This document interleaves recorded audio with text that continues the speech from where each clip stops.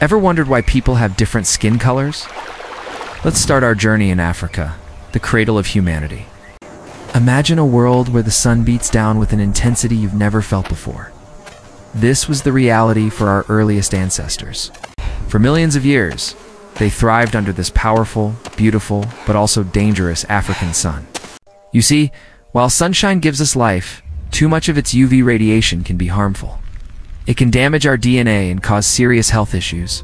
So, how did our ancestors survive? Nature, in its infinite wisdom, gave them a superpower, melanin. Melanin is the natural pigment that gives our skin, hair, and eyes their color. It acts like a built-in sunscreen, absorbing the sun's harsh rays and protecting the vital processes happening within our bodies. That's why many people from Africa have darker skin. It's not just a color. It's a brilliant evolutionary adaptation, a shield forged by the sun itself. So, every shade of dark skin tells an incredible story of resilience, survival, and the deep connection between humanity and the sun.